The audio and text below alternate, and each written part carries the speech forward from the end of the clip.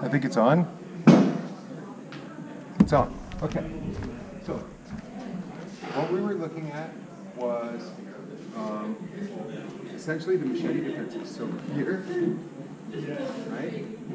Here.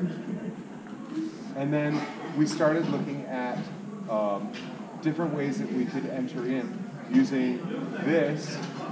And then if he comes back and I've missed, the Sagita is a good thing to add in. Or if he comes in with the backhand, we were working here coming to the roof in one.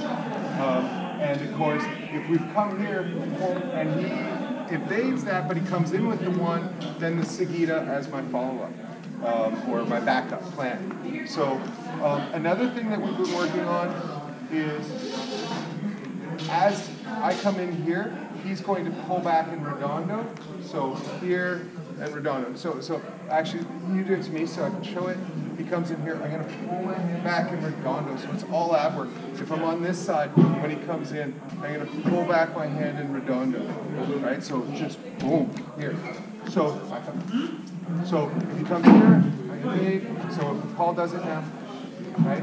So he pulls his hand back, boom, and he redondos. And then the overall goal of the whole lesson was to be able to tell the difference from when I was going to his hands and when I'm going to his body. Because he's going to play the redondo game here against the hand, the hand, and you know, boom. And he can go after my hand, my head, my whatever, so long as he makes me pay for every time I do that. And then if he notices, boom, boom, boom, and then he follows up, follows up, follows up. Now, of course, this leads into forearm range because if, if I've got him at, at range, he's reacting well at range, he's reacting well at range, he feels the moment where he can come in, I block, right? Now he's going to go into forearm range, and he's going to use his SSBD. Yes, he uses it. Okay, good, good, good. Right?